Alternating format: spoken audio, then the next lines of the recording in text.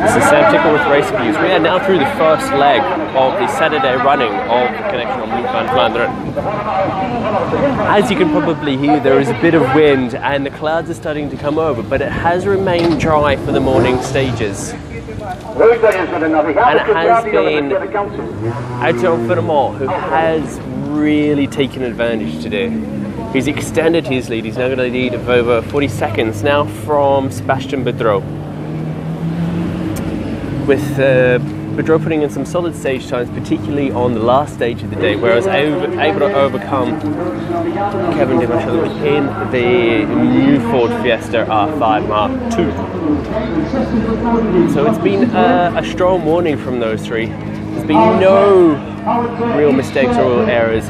Just uh, uh, has had just the absolute outright pace this morning to uh, really, really build the lead.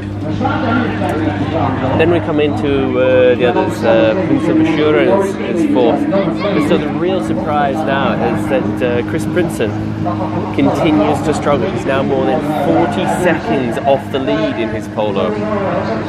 It looked like maybe he, at the beginning of the day, he was able to find something, find the setup that he wanted, but his initial pace was very short lived. And while he did get up to third, he's since dropped back down the standings.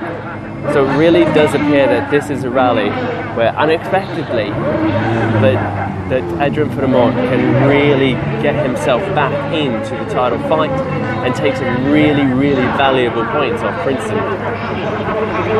There are now uh, two loops of five stages left, so we're still talking over 100 kilometers left for the day's running.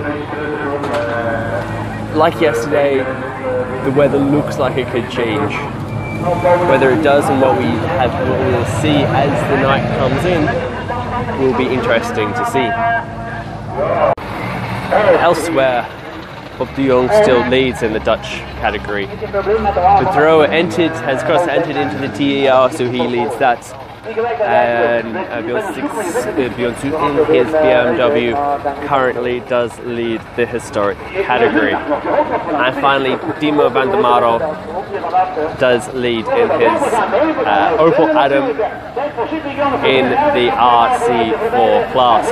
We'll be back as the day continues. As we said, two more loops. So check out www.racerviews.com for more.